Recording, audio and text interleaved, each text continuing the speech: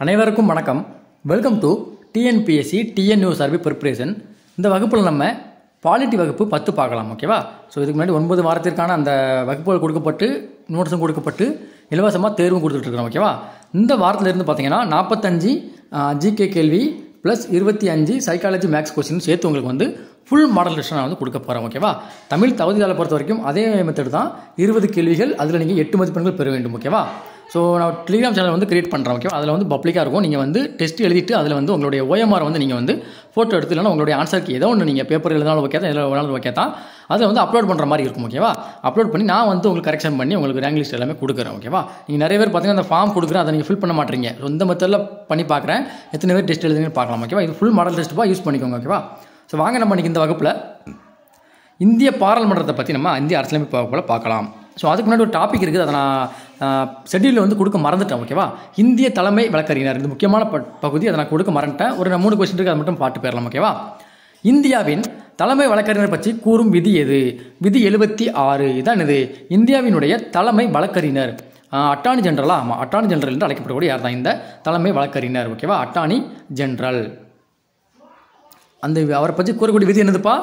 விதி எழுபத்தி ஆறு. அடுத்து இந்தியாவின் முதன்மை சட்ட அதிகாரி எனப்படுபவர் யார்? இவர்தான். இந்தியாவின் தலைமை வழக்கறிஞர் அல்லது அட்டார்னி ஜெனரல் என்று அழைக்கப்படக்கூடியவர் தான் எனது இந்தியாவின் முதல் சட்ட அதிகாரியாக அழைக்கப்படுகிறார் ஓகேவா?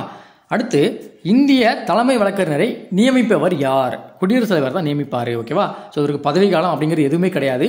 குடியரசுத் தலைவர் நினைச்சா இவருக்கு பதவி காலத்தை கொடுக்கலாம். குடியரசுத் தலைவர் நினைச்சா இவர் பதவி காலத்தில் விட்டு நீக்கலாம் ஓகேவா? பாராளுமன்றத்தின் இரு அவைகளிலும் கலந்து கொள்ளக்கூடிய தகுதி பெற்ற ஒரே நபர் யார் தான் இந்த இந்திய அட்டார்னி ஜெனரல் தான். இவர் வந்து கலந்து கொள்ளலாம். அதாவது கூட்டம் நடக்கும் அப்படின்னா அதை கலந்து கொள்ளலாம். ஆனால் அங்கே எலெக்ஷன் நடக்கும் இல்லையா அதில் வந்து இவர் வாக்களிக்க முடியாது. ஓகே நல்லா புரிஞ்சுக்கிடணும். இரண்டு கூ- ரெண்டு கூட்டங்கள்லையும் மேலவை சாரி ரெண்டு அவைகள்லையும் மக்களவையிலையும் மாநிலங்களவையும் பார்த்தீங்கன்னா இவர் வந்து இருக்கலாம். ஆனால் அங்குள்ள வாக்களிக்க முடியாது. கருத்துக்களை தெரிவிக்கலாம். ஆனால் எனது வாக்களிக்க முடியாது. ஓகேவா ஸோ இப்போ அந்த நாலு கேள்விகள் முக்கியம். இதில் முக்கியமான கேள்வின்னு பார்த்தீங்கன்னா அந்த விதி. இந்தியாவின் தலைமை வழக்கறிஞர் பற்றி கூறக்கூடிய விதி என்னது? விதி எழுபத்தி ஆறு. இதை மட்டும் நீங்கள் நல்லா மைண்டில் வச்சுக்கோங்க. மற்றபடி வேறு ஒன்றும் நினைக்க வேண்டாம் ஓகேவா இந்த இதையும் கொஞ்சம் நான் வச்சுக்கோங்க.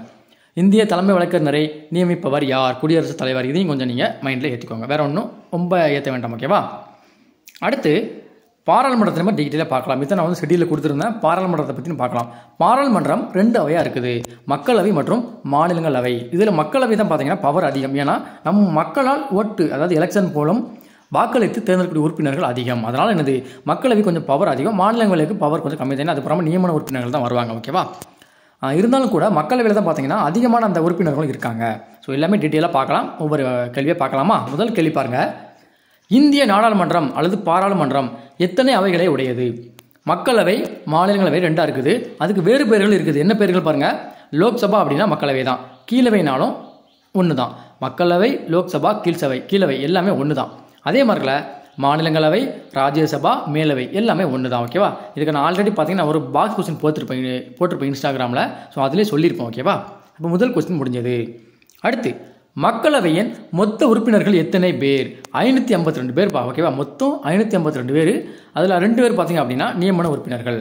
சாரி வெயிட் ஆமாம் அப்படின்னு நினைக்கிறேன் ஓகே வெயிட் வெயிட் பண்ணுங்க நம்ம கேட்டு சொல்கிறோம் ஓகே அது நீக்கிட்டாங்க இப்போ வந்து நமக்கு தேவையில்லை. இப்போ உறுப்பினர்கள் மட்டும் பார்த்துக்கோங்க ஓகேவா ஸோ மக்களவையின் மொத்த உறுப்பினர்கள் எத்தனை பேர்னு கேட்டால் ஐநூற்றி ஐம்பத்தி ரெண்டு பேர் ஓகேவா இது மட்டும் நீங்கள் ஞாபகம் வேறு எதுவும் ஞாபகம் வேண்டாம். அடுத்து மக்களவையில் தற்போதுள்ள மொத்த உறுப்பினர்கள் எண்ணிக்கை எத்தனை பேர்? தற்போது பார்த்தீங்கன்னா முந்நூற்றி நாற்பத்தி மூணு பேர் தான் இருப்பாங்க ஓகேவா முந்நூற்றி ஐம்பத்தி நாற்பத்தஞ்சு கிடையாது முந்நூற்றி நாற்பத்தி மூன்று பேர் தான் இருப்பாங்க. ஏன்னா ரெண்டு பேர் நீக்கிட்டாங்க இல்லையா? அதனால் என்னது? முந்நூற்றி நாற்பத்தி மூணு பேர் தான் இப்பொழுதைய தற்போதைய உறுப்பினர்கள் ஓகேவா அடுத்து மக்களவை உறுப்பினர்களின் பதவி காலம் எத்தனை ஆண்டுகள்? ஸோ மக்களவைனா ஐந்து ஆண்டுகள் தான் அவங்களுக்கு பதவி காலம். ஐந்து ஆண்டுகள் கழித்து மறுபடியும் ரீ எலெக்ஷன் வச்சு என்னது? எலெக்ஷன் வச்சு மறுபடியும் வந்து தலைவர்களை அந்த உறுப்பினர்களை தேர்ந்தெடுப்பாங்க. ஓகேவா ஸோ அப்போது மக்களவை உறுப்பினர்களின் பதவி காலம் எத்தனை ஆண்டுகள்? இது கேட்க வாய்ப்புகள் அதிகம். எத்தனை ஆண்டுகள்? ஐந்து ஆண்டுகள். அடுத்து மக்களவை உறுப்பினர்கள் எத்தனை நாட்களுக்கு மேல் அனுமதியின்றி விடுமுறை எடுத்தால் பதவி நீக்கப்படுவர்? அறுபது நாட்கள் பார்த்தீங்கன்னா தொடர்ந்து லீவ் எடுத்தாங்க அப்படின்னா அவங்க வந்து எம்பி போஸ்ட்லேருந்து தூக்கிடுவாங்க. ஓகேவா ஸோ அப்போது மக்களவை உறுப்பினர் எத்தனை நாட்கள் லீவ் எடுக்கக்கூடாதுப்பா? அறுபது நாளுக்கு மேலே எடுக்கக்கூடாது. எடுத்தால் நீக்கிடுவாங்க. ஓகேவா அதுக்குள்ளே வந்து ஒரு தகவலை வந்து தெரிவிக்கணும். நான் அந்த மாதிரி லீவ் உடம்பு சரியில்லை. ஏதாவது ஒரு காரணத்தை கரெக்டான காரணத்தை தெரிவிக்க வேண்டும். அடுத்து அதிக மக்களவை உறுப்பினர்களை கொண்ட மாநிலம் எது? எண்பது தொகுதி இருக்குது எங்கப்பா? உத்தரப்பிரதேசத்தில் ஏன்னா அது மிக பெரிய மாநிலம் அப்படிதானா? நம்ம இதிலே போட்டிருப்ப மக்கள் தொகையிலே அதிக மக்கள் தொகை கொண்ட மாநிலம் என்னது தான்? உத்தரப்பிரதேசம் தான் ஓகேவா பீமா படிச்சிருப்பீங்க அப்படி அப்படிதானா? அப்போது அங்கே கிட்டத்தட்ட எண்பது தொகுதிகள் இருக்குப்பா. நம்ம தமிழ்நாட்டுக்கு எதுனப்பா தமிழ்நாட்டை பொறுத்த வரைக்கும் முப்பத்தி ஒன்பது. அதில் பாதி ஓகேவா எண்பதில் பாதி நாற்பது ஒன்று குறைச்சிக்கோங்க. முப்பத்தொம்போது தொகுதி வந்து நமக்கு மக்களவைக்கு வழங்குறாங்க ஓகேவா அடுத்து குறைந்த மக்களவை உறுப்பினர்களை உடைய மாநிலம் எது? மிசோரம் நாகாலாந்து சிக்கிம். எல்லாமே பார்த்தீங்கன்னா குறைந்த மக்களவை உறுப்பினர்களை கொண்டிருக்குது. அடுத்து தமிழ்நாட்டில் உள்ள மக்களவை உறுப்பினர்களில் எத்தனை பேர்? முப்பத்தொம்போது பேர் சொன்னோம் இல்லையா? அதிகமாக இருக்குது. உத்தரப்பிரதேசம் கிட்டத்தட்ட எண்பது பேர். நம்ம தமிழ்நாட்டுக்கு அதில் பாதி எவ்வளவு? நாற்பது பேர். முப்பத்தொம்போது பேர் ஞாபகம் கிட்டத்தட்ட நாற்பதாயிரத்தில் முப்பத்தொம்போது பேர் ஞாபகம் வச்சுக்கோங்க மறக்காது. அடுத்து தமிழ்நாட்டில் உள்ள மாநிலங்களவை உறுப்பினர்கள் எத்தனை பேர்? மக் சாரி மக்களவை மாநிலங்களவை இருக்குல்ல மக்களவைக்கு முப்பத்தொம்போது பேரும் மாநிலங்களவைக்கு பதினெட்டு பேரும் பார்த்திங்கன்னா உறுப்பினர்களாக இருக்காங்க. தமிழ்நாட்டை பொறுத்த வரைக்கும் ஓகேவா முப்பத்தி ஒம்பது பதினெட்டு சரியா? நல்ல வச்சுக்கணும் மறந்துடக்கூடாது. மக்களவை மாநிலங்களவை. அடுத்து மக்களவையின் முதல் சபாநாயகர் யார்? G V Mavalankar. அதாவது பார்த்திங்க அப்படின்னா ஆயிரத்தி தொள்ளாயிரத்தி நாற்பத்தி உங்களுக்கு வந்து எட்டில் வந்து நாற்பத்தி ஏழில் சுதந்திரம் கிடைக்கும் அப்படி தான் நாற்பத்தேழு சுதந்திரம் கிடைச்சி நாற்பத்தி எட்டில் வந்து சட்டம் எழுத ஆரம்பிக்காங்க ஓகேவா அப்போ தான் பார்த்தீங்கன்னா அந்த அரசினுடைய நிர்ணய சேவை பார்த்தீங்கன்னா ரெண்டாக செயல்பட ஆரம்பிக்கும். ஒன்று வந்து பார்த்தீங்க அப்படின்னா நாடாளுமன்றமாக முதல் நாடாளுமன்றமாக செயல்படும். இன்னொன்று பார்த்தீங்கன்னா நிர்ணய சபையாக செயல்படும். அப்படி நாடாளுமன்றமாக செயல்படும் போது பார்த்தீங்கன்னா இந்த ஜிவி மாவலாங்கவர் பார்த்தீங்கன்னா உறுப்பிட்டு சாரி சபாநாயகராக வந்து செயல்பட்டிருக்காரு.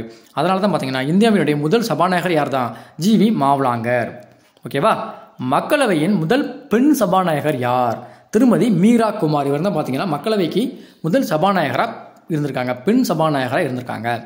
நமக்கு தெரிஞ்சிருக்கணும் அப்படி தானே மாநிலங்களவைக்கு தலைவர் யார்? துணை குடியரசுத் தலைவர். மக்களவைக்கு தலைவர் யார்? சபாநாயகர். ஓகேவா மா மாது மாச. ஓகே அப்படி ஞாபகம் வச்சுக்கோங்க மறக்காது. மாநிலங்களவை மக்களவை. சரியா?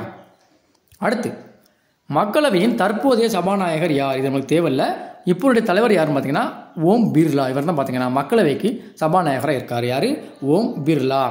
அடுத்து பார்த்தீங்க அப்படின்னா மக்களவை உறுப்பினர்கள் எவ்வாறு தேர்ந்தெடுக்கப்படுவர்? மக்களால் நேரடியாக நம்ம முன்னாடி சொன்னோம் இல்லையா? நம்மளால் ஓட்டு போட்டு தேர்ந்தெடுக்கக்கூடிய ம- அந்த உறுப்பினர்கள் தான் மக்களவையில் இருப்பாங்க. அதனால தான் அந்த அவைக்கு பவர் அதிகம். ஆனால் கலைக்க முடியும். எனி டைம் வேணாலும் கலைக்கலாம் ஓகேவா ஆனால் மாநிலங்களவையை கலைக்க முடியாத உறவை நிரந்தர அவையாக கூட இருக்கும் ஓகேவா அடுத்து மக்களவை கூட்டத்தை துவக்கி வைப்பவர் யார்? ஓகேவா மக்களவை கூட்டங்கள் வந்து நடைபெறும். அப்படிதானே குளிர்கால கூட்டத்தொடர் பட்ஜெட்டு மழைக்காலம் இந்த மாதிரி நடைபெறும். அதை துவக்கி வைப்பவர் யார்ப்பா? சபாநாயகர். ஓகேவா அடுத்து மக்களவை கூட்டத்தை ஒத்திவைக்கும் அதிகாரம் படைத்தவர் யார்? சபாநாயகர். நீங்கள் நியூஸில் பார்த்துருப்பீங்க உள்ள அமளி. அமளினால இரண்டு மணி நேரம் மூன்று மணி நேரம் ஒரு நாள் முழுவதும் ஒத்திவைக்கப்பட்டதுன்னு சொல்லியிருப்பாங்க. அப்படி யார் ஒத்திவைக்க அதிகாரம் இருக்குன்னா சபாநாயகருக்கு தான் அதிகாரம் இருக்குது ஓகேவா வேறு யாருக்குமே அதிகாரம் கிடையாது. இந்த மாதிரி கேள்வி கேட்காங்க. சரியான பதில் இல்லை. அங்கே சண்டையோ ஏதோ ஒரு மூண்ட ஒரு சண்டை கூடக்கூடிய அந்த சூழ்நிலை இருக்குது. அதை வந்து ஒத்திவைக்க அந்த அதிகாரம் யாருக்கு இருக்குது சபாநாயகருக்கு இருக்குது ஓகேவாப்பா அடுத்து பாராளுமன்ற அவையை நடத்த குறைந்தது எத்தனை சதவீதம் உறுப்பினர்கள் அவையில் இருக்க வேண்டும்? ஒரு பத்து சதவீதம் அந்த உறுப்பினர்கள் இருந்தால் தான் நாடாளுமன்றத்தை கூட்ட முடியும் ஓகேவா அந்த அவையை வந்து நடத்த முடியும் ஓகேவா எத்தனை சதவீதம்? பத்து சதவீதம். அடுத்து குடியரசுத் தலைவராக பதவியேற்ற ஒரே சபாநாயகர் யார்? ஒரு நல்ல கொஸ்டின் ஓகேவா குடியரசுத் தலைவராக இருக்கார் சபாநாயகராக இருக்கார் முதல்ல. அவர் வந்து பார்த்தீங்கன்னா குடியரசுத் தலைவராக மாறுதார் யார்? நீலம் சஞ்சீவி ரெட்டி ஓகேவா இவர் தான் பார்த்தீங்கன்னா சபாநாயகராக இருந்து குடியரசுத் தலைவராக ஆனால் ஒரே ஆள். அடுத்து இருமுறை சபாநாயகராக இருந்தவர் யார்? பல்ராம் ஜாக்கர். இவர் தான் பார்த்தீங்கன்னா ரெண்டு முறை மக்களவையினுடைய அந்த சபாநாயகர் பதவியை வச்சிருக்கார். யார்? பல்ராம் ஜாக்கர். அடுத்து முதல் மக்களவை பொதுத் தேர்தல் நடந்த ஆண்டு ஆயிரத்தி தொள்ளாயிரத்தி ஐம்பத்தி ரெண்டு தான் பார்த்தீங்கன்னா முதல் முதல்ல மக்களவைக்கு பார்த்தீங்க அப்படின்னா தேர்தல் நடக்குது ஓகேவா நீங்கள் புக்கில் படிச்சிருப்பீங்க. ஆயிரத்தி தொள்ளாயிரத்தி ஐம்பத்தி ஒன்று செப்டம்பர் அப்படின்னா சாரி அக்டோபர் பன்னெண்டு முதல் பிப்ரவரி இரண்டு முதல் எத்தனை நடந்திருக்கும் அப்படின்னா சாரி அக்டோபர் இருபத்தி ஐந்து முதல் பிப்ரவரி பன்னெண்டு வரைக்கும் நடந்திருக்கும் ஆயிரத்தி தொள்ளாயிரத்தி ஐம்பத்தி ரெண்டு. ஸோ இந்த ஐம்பத்தி ரெண்டு தான் முதன் முதல்ல மக்களவைக்கு பார்த்தீங்கன்னா தேர்தல் நடக்குது ஓகேவா அப்போ எப்போம்பா ஆயிரத்தி தொள்ளாயிரத்தி ஐம்பத்தி இரண்டு. ரெண்டாயிரத்தி பதினாலாம் ஆண்டு எத்தனையாவது மக்களவை பொது தேர்தல் நடைபெற்றது? எப்போ? பதினாறாவது பொதுத் தேர்தல் ஓகேவா ரெண்டாயிரத்தி பதினாலில் நடக்குது. ஓகேவா ரெண்டாயிரத்தி பதினாலில் உங்களுக்கு வந்து வெயிட் ரெண்டாயிரத்தி பதினாலு தான் ரைட்டு பதினாலாம் ஆண்டு எத்தனாவது மக்களவை பொதுத்தேர்தல் நடைபெற்றது? பதினாறாவது மக்களவை பொதுத்தேர்தல் நடைபெற்றது. அப்போ ரெண்டாயிரத்தி பதினாலுனா ஒரு அஞ்சு வருஷம் கழிச்சு அப்படி தானே அப்போ அஞ்சுனா பதினாலு அஞ்சும் பத்தொம்போது. ரெண்டாயிரத்தி பத்தொம்போது நடக்கும் ஓகே ரெண்டாயிரத்தி பத்தொம்போதில் எலெக்ஷன் எலெக்ஷன் நடந்தது இல்லையா அது வந்து பதினேழாவது பொதுத்தேர்தல் ஓகேவா அடுத்து நிதி மசோதா முதன் முதலில் எங்கு தாக்கல் செய்யப்படும்? மக்களவையில் தாக்கல் செய்யப்படும். நம்ம வந்து எங்கே பார்த்துருப்போம்? இதை போன வகுப்பில் பார்த்துருப்போம் அப்படி அந்த குடியரசுத் தலைவரை பற்றி பார்க்கும்போது பார்த்துருவோம்னு நினைக்கிறேன். பண மசோதா பார்த்தீங்கன்னா மக்களவையில் மட்டும் தாக்கல் செய்ய முடியும். மாநிலங்களவைக்கு அதை திருத்தவோ அதை ரத்து செய்யவோ அனுமதி கிடையாது. மேக்சிமம் ஒரு பதினான்கு நாட்கள் பார்த்தீங்கன்னா தாமதப்படுத்த முடியும் இதை அந்த பண மசோதாவை வேறு ஒன்றுமே மாநிலங்களவையால் ப- பண்ண முடியாது. அப்படி பதினாலு நாள் கழிச்சு அவங்க ஓகே பண்ணலை அப்படின்னா தன்னாலேயே நிறைவேறிடும். ஓகேவா அடுத்து ஜனாதிபதி மக்களவைக்கு எத்தனை உறுப்பினர்களை நியமிக்கலாம்? ரெண்டு உறுப்பினர்கள் நியமிப்பாங்க. ஓகேவா யார்? ஜனாதிபதி. அடுத்து ஜனாதிபதி மக்களவையில் யாரை நியமிக்கலாம்? ரெண்டு ஆங்கிலோ இந்தியர் உறுப்பினர் நியமிக்கலாம். ஆனால் இது ஸ்கூல் புக்கில் மாறல ஓகேவா அப்படிங்க படிச்சுக்கோங்க. ஆனால் ரீசெண்டாக அந்த நியூஸ் படி பார்த்தீங்கன்னா இந்த நியமிக்கக்கூடிய ரெண்டு உறுப்பினர்கள் பார்த்தீங்கன்னா ரத்து செய்யப்பட்டது ஓகேவா அதோட சட்டத்திருத்தம் எனக்கு மறந்து போச்சு. நூற்றி ஒன்றா அல்லது நூற்றி ஆறான்னு எனக்கு தெரியல ஓகேவா ஸோ நூற்றி ஆறுன்னு நினைக்கிறேன். நூற்றி ஆறாவது சட்டத்திருத்தம் ரெண்டாயிரத்தி இருபது. இந்த சட்டத்தின் மூலம் பார்த்தீங்கன்னா அந்த ரெண்டு பேர் நியமிப்பார் இல்லையா? அதை வந்து நீக்கிட்டாங்கன்னு சொல்லி ஒரு நியூஸ் பார்த்தேன். அது எந்தளவுக்கு உண்மைன்னு தெரியல. புக்கில் ஒன்றும் மாற்றலை ஓகேவா அதெல்லாம் நீங்கள் அதை படிச்சுக்கோங்க. ஸோ மக்களவை பற்றி நம்ம டீட்டெயிலாக பார்த்தாச்சு. அடுத்து மா பாராளுமன்றத்தில் இருக்கக்கூடிய இந்த மாநிலங்களவை பற்றி நம்ம டீட்டெயிலாக பார்க்கலாம். மாநிலங்களவை ராஜ்யசபாவின் மொத்த உறுப்பினர்கள் எத்தனை பேர்? நம்மளே சொன்னோம் இல்லையா? மா ராஜ்யசபா மாநிலங்களவை மேலவை எல்லாம் ஒரே ஒன்று தான் ஓகேவா அதோட மொத்த உறுப்பினர்கள் எவ்வளோப்பா இரநூத்தி ஐம்பது பேர். ஓகேவா தற்போது பார்த்தீங்கன்னா இரநூத்தி நாற்பத்தஞ்சு பேர் இருக்கிறாங்க. அதில் இரநூத்தி முப்பத்தி மூணு பார்த்தீங்கன்னா நியமன உறுப்பினர்கள் சாரி தேர்ந்தெடுக்கப்பட்ட உறுப்பினர்கள். பன்னெண்டு பேர் பார்த்தீங்கன்னா நியமன உறுப்பினர்கள். அதை தான் பிரித்து கொடுத்துருக்காங்க. அப்போ மொத்தம் கேட்டால் இரநூத்தி ஐம்பது தற்போதுன்னு கேட்டால் இரநூத்தி நாற்பத்தி அஞ்சு ஓகேவா? இது மறந்துடக்கூடாது. ஞாபகம் வச்சுக்கணும். அடுத்து. மாநிலங்களவையில் எத்தனை உறுப்பினர்கள் குடியரசுத் தலைவர் நியமிக்கப்படுகிறார்கள்? பன்னெண்டு பேர் ஓகேவா? கலை அறிவியல் என்னது வணிகம் அறிவியல் அடுத்து பார்த்திங்கன்னா டீச்சிங் ஆசிரியர் எல்லாத்துலேயும் ஒரு துறையில் சிறப்பாக இருக்கக்கூடிய அந்த ஒரு ஆளை வந்து குடியரசுத் தலைவர் நியமிப்பார். மொத்த எத்தனை பேர் நியமிக்கார்? பன்னெண்டு பேர். அடுத்து. நிரந்தரமான கலைக்க முடியாத அவை எது? நான் முன்னாடி சொல்லிட்டேன். நம்ம மக்களவையில் இருக்கக்கூடிய அந்த உறுப்பினர்கள் நம்ம தான் ஓட்டு போட்டு தேர்ந்தெடுத்தோம். ஏதோ ஒரு பிரச்சனைனா என்னது? அந்த மக்களவை வந்து கலைச்சிடலாம் ஆனால் மாநிலங்களவை கலைக்கவே முடியாது. அப்போ நிரந்தரமான கலைக்க முடியாத ஒரு அவைனா என்னதான்? மாநிலங்கள அவை ஓகேவா? மாநிலங்களவையில் இரண்டு ஆண்டுகளுக்கு ஒரு முறை எத்தனை உறுப்பினர்கள் ஓய்வு பெறுவார்கள்? மூணில் ஒரு பங்கு உறுப்பினர்கள் ஓய்வு பெறுவாங்க ஓகேவா நம்ம மக்களவைக்கு பதவி காலம் பார்த்தோம் ஐந்து ஆண்டுகள் தான். ஐந்து ஆண்டுகள் முடிஞ்சிச்சா? அவங்களோட பதவிகள் அன்றைக்கே முடிஞ்சுது.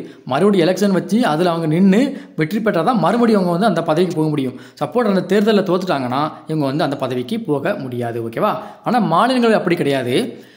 ரெண்டு ஆண்டுகள் ஒரு முறை பார்த்தீங்கன்னா மூணில் உறுப்பு உறுப்பினர்கள் பதவி விளங்குறாங்க ஸோ அப்போ மொத்தம் ஒம்பது பேர் இருக்காங்க இப்போ ஓகேவா இப்போ நம்ம ஒரு உதாரணத்துக்கு சொல்கிறேன் நிறைய பேர் இருக்காங்க. இரநூத்தி சாரி ஐநூற்றியா இரநூத்தி நாற்பத்தஞ்சு பேர் இருக்காங்க அப்படின்னாப்பா இரநூத்தி நாற்பத்தஞ்சு பேர் இருக்காங்க. அதில் மூன்று ஒரு பங்கு நம்ம கண்டுபிடிக்கணும் அப்படின்னா எப்படி கண்டுபிடிக்கலாம்? இரநூத்தி நாற்பத்தி அஞ்சு இண்டு ஒன்று பை மூணு போட்டால் வருமா? மூணால் அடிங்க. எம்மூணா இருபத்தி நாலு அடுத்து மிச்சம் இருக்குது ஒரு மூணு மூணு. ஒரு கிட்டத்தட்ட மிச்சம் எத்தனை இருக்கும்? மீதி ரெண்டு இருக்கும் அப்படி இருபது. ஆறு மூணு பதினெட்டு. கிட்டத்தட்ட ஒரு எண்பத்தி ரெண்டு பேர் பார்த்திங்க அப்படின்னா இந்த ஓய்வு வந்து ரெண்டு வருடத்துக்கு ஒரு முறை பெறுவாங்க. எண்பத்தி இரண்டு பேர் ஓகேவா? அந்த எண்பத்தி ரெண்டு பேர் பார்த்திங்க அப்படின்னா இரண்டு ஆண்டுகளுக்கு ஒரு முறை வந்து பார்த்தீங்கன்னா ஓய்வு பெறுவார்கள். அதுக்கடுத்து பார்த்தீங்கன்னா புது உறுப்பினர்களை வந்து பார்த்தீங்கன்னா நியமிப்பாங்க. நம்ம தற்போதைய தமிழ்நாட்டில் வந்து இளைய- இளையராஜா இருக்கார் இல்லையா? இசையமைப்பாளர். அவரை கூட பார்த்தீங்கன்னா தேர்ந்தெடுத்தாங்க. எல்லாருமே தெரிஞ்சிருக்கும். அடுத்து பிடி உஷா. அவங்களும் பார்த்தீங்கன்னா ஒரு மாநிலங்களவை எம்பி தான்.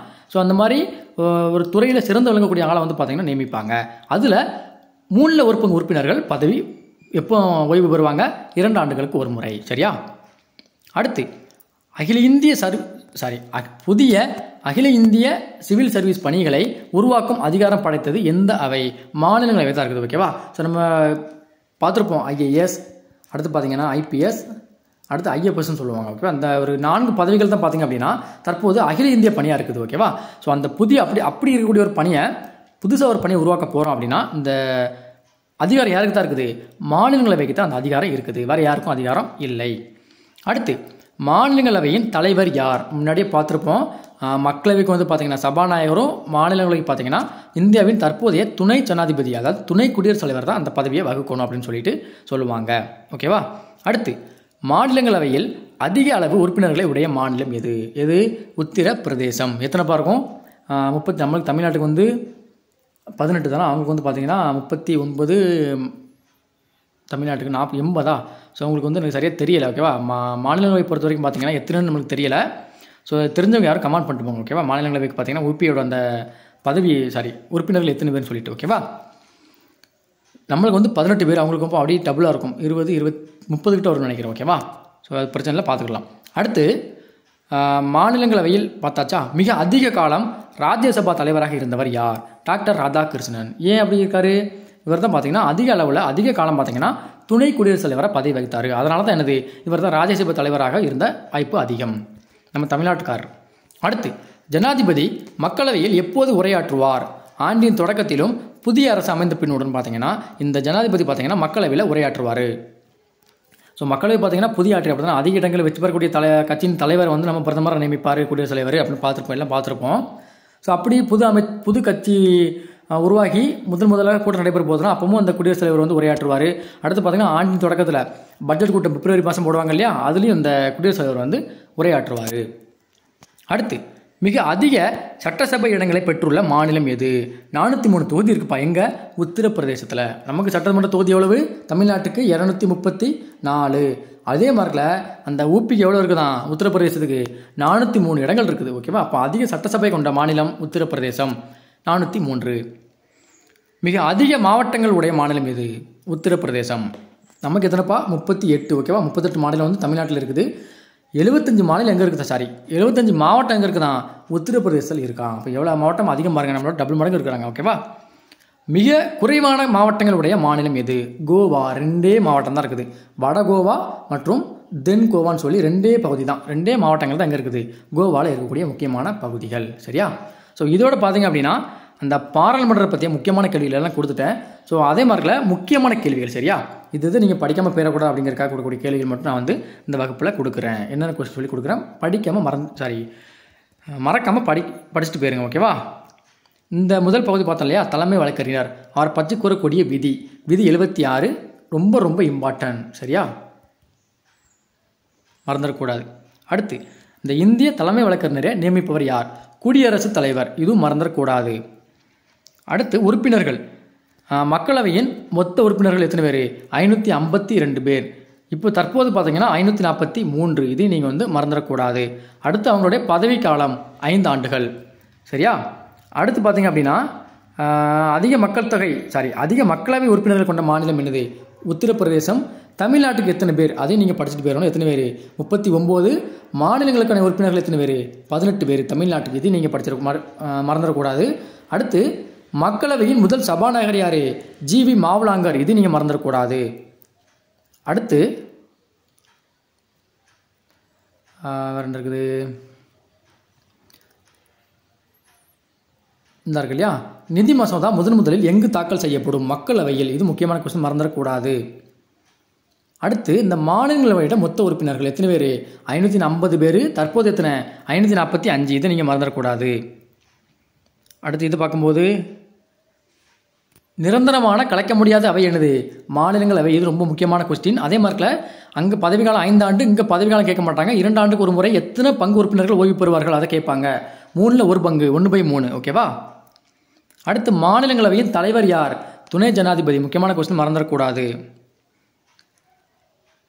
அடுத்து ஒரு பிரச்சனை ஓகேவா இதான். இந்த மாவட்டங்கள்லாம் ஈஸியாக இருக்கும். பிரச்சனை இல்லை கேட்க மாட்டாங்க. சரி ஓகேவா இந்த நான் டிப் பண்ண லாஸ்ட்டாக கொடுத்த முக்கியமான கொஸ்டின் எல்லாமே ரொம்ப ரொம்ப இம்பார்ட்டன்ட் கொஸ்டின் படிக்காமல் போயிடக்கூடாது ஓகேவா ஸோ இந்த பிடிஎஃப் வேணும் அப்படின்னா நம்மளுடைய டெலிகிராம் சேனலில் ஜாயின் பண்ணிக்கோங்க. இந்த யூடியூப் சேனலையும் சப்ஸ்கிரைப் பண்ணிக்கோங்க. நன்றி வணக்கம். அடுத்த வீடியோவில் சந்திக்கலாம்.